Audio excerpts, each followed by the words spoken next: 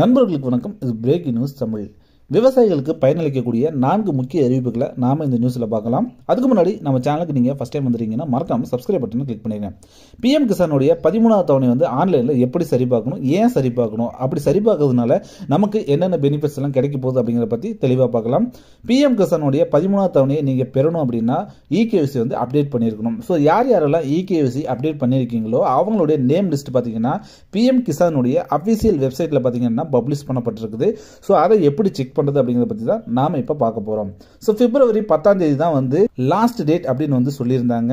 இகேவிசி update பண்ணுறதுக்கு so இதில் பிப்ரவரி பத்தாம் தேதிக்கு முன்னாடியே நீங்கள் வந்து இகேவிசி வந்து அப்டேட் பண்ணியிருந்தீங்க அப்படின்னா உங்களுக்கு பதிமூணாவது தவணை வந்து பெறுவதற்காக உங்களுடைய நேம் சாங்ஷன் லிஸ்ட்டு பார்த்தீங்க அப்படின்னா பிஎம் கிசானுடைய அஃபிஷியல் வெப்சைட்டில் பார்த்தீங்கன்னா பப்ளிஷ் பண்ணியிருப்பாங்க. ஃபஸ்ட்டு பிஎம் கிசானுடைய official வெப்சைட்டான PM Kisan dot G O V dot I N அப்படிங்கிறத நாம் வந்து சர்ச் பண்ணி அந்த பேஜுக்கு போயிட்டோம் அப்படின்னா அதுக்கு அடுத்தது டேஷ்போர்ட் அப்படின்னு ஒரு ஆப்ஷன் இருக்கும். அந்த டேஷ்போர்டை வந்து நீங்கள் வந்து கிளிக் பண்ணணும். அதில் உங்களுடைய மாநிலம் மாவட்டம் துணை மாவட்டம் மற்றும் கிராமம். இது எல்லாமே நீங்கள் வந்து தேர்ந்தெடுத்துக்கிட்டு சப்மிட் அப்படிங்கிற பட்டன் இருக்கும். ஸோ அந்த பட்டனை வந்து நீங்கள் வந்து கிளிக் பண்ணணும். ஸோ கிளிக் பண்ணீங்க அப்படின்னா உடனே உங்களுக்கு உங்களுடைய பெயர் இருக்கா இல்லையா அப்படிங்கிறத செக் பண்ணிக்கலாம். விஷயம் நீங்கள் அப்டேட் பண்ணியிருந்தீங்கன்னா உங்களுக்கு உங்களுடைய பெயர் ஆனது அங்கே வந்து ஷோ ஆகும். ரெண்டாவது விஷயமா விதைப்பணி அமைக்கிறதுக்காக அரசு மானியம் வழங்குறாங்க. எவ்வளோ வழங்குறாங்க? என்னென்ன தகுதிகள்லாம் இருக்கணுங்க பற்றி இப்போ பார்க்கலாம். ஒரு விவசாய குடும்பத்திற்கு அதிகபட்சமாக நெல்லில் ஐந்து ஏக்கரும் இதர பயிர் விதைகளில் பன்னெண்டு புள்ளி ஐந்து ஏக்கரும் விதைப்பனையாக பதிவு செஞ்சுக்கலாம் அப்படின்னு வந்து தமிழக அரசு சொல்லியிருக்கிறாங்க. விதை உற்பத்தி செய்து சுத்திகரிப்பு நிலையத்தில் இருப்பு வைத்தவுடன் குறைந்தபட்ச ஆதார விலையில் எண்பது சதவீதம் முதல் தவணையாக நேரடியாக விவசாயிகள் வங்கி கணக்கில் வழங்கப்படும் சொல்லியிருக்காங்க. மீதமுள்ள தொகை டான்சிடா கொள்முதல் விலையின்படி இரண்டாம் தவணை சுத்திகரிப்பு முடிந்து விதை ஆய்வு முடிவில் தேர்ச்சி பெற்றவுடன் வழங்கப்படும் வந்து சொல்லியிருக்காங்க. திட்டத்தில் பயன்பெற விரும்பும் விவசாயிகள் உழவன் செயலி மூலம் விண்ணப்பிக்கலாம்னு சொல்லியிருக்காங்க.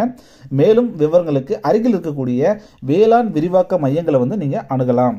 அடுத்ததாக காட்டுப்பன்றிகளை வனவிலங்குகள் பட்டியலிருந்து விலக்கு அளிக்கணும் அப்படின்னு விவசாயிகள் வந்து கோரிக்கை வச்சிருக்காங்க. கன்னியாகுமரி மாவட்டத்தில் விவசாயிகள் குறைத்திருக்கும் கூட்டம் கடந்த பதினாறாம் தேதி வந்து நாகர்கோவில் உள்ள ஆட்சியர் அலுவலக நாஞ்சல் கூட்டரங்கில் வந்து மாவட்ட ஆட்சியர் பி. என். ஸ்ரீதர் முன்னிலையில் வந்து நடைபெற்றுச்சு. அதில் அரசு துறை சார்ந்த அதிகாரிகள் விவசாயிகள் உள்ளிட்ட பல பேர் வந்து கலந்துகிட்டு இருந்தாங்க.